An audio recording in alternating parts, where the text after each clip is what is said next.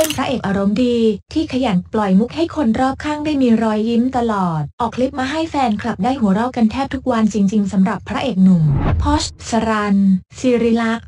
และแซมมี่คาเวล พระนางคู่ซีที่กำลังจะมีผลงานใหม่ร่วมกันในเรื่อง สุภาพบุรุษชาวดิน ทางช่อง 7 HD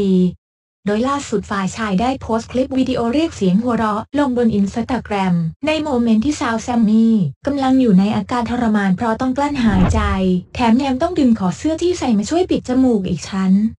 ซึ่งสาเหตุที่เป็นแบบนี้ก็เพราะหนุ่มพอร์ชโชว์ความเกรียน ด้วยการผายลมขณะถ่ายละคร ในฉากที่ทั้งคู่นั่งโดยสารอยู่บนรถคันเดียวกัน แถมงานนี้นอกจากพระเอกหนุ่มของเราจะส่งเสียงหัวเราะเพราะความสะใจที่ได้ แกล้งเพื่อนแล้ว เจ้าตัวก็ยังเอ่ยปากชวนอีกฝ่าย ให้ช่วยกันสูดลมหายใจเข้าไปลึกๆ เพื่อที่จะได้ไม่หลงเหลือกลิ่นไม่พึงประสงค์ในรถอีกด้วย